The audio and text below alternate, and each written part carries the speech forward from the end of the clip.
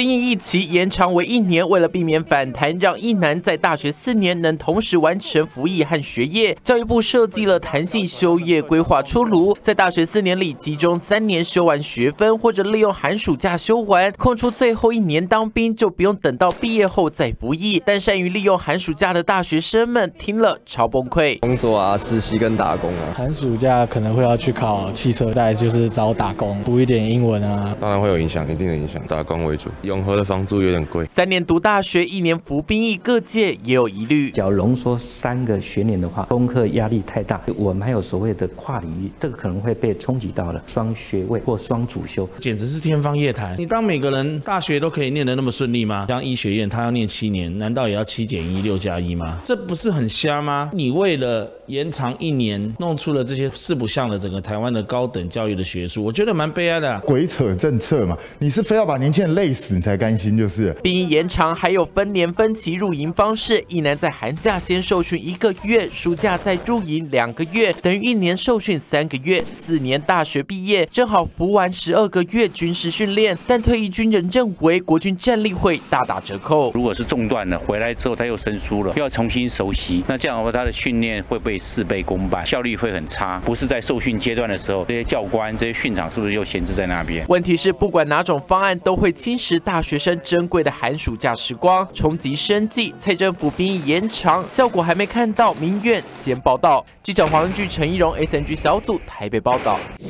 晚上睡不好觉呢，跟阿比一样呢，浅眠的人呢，是不是一点点声音就让你睡不好呢？现在阿比要推荐你这个用喝的就能舒压的饮品梦梦水，睡前三十分钟喝一包就可以让你轻松无负担。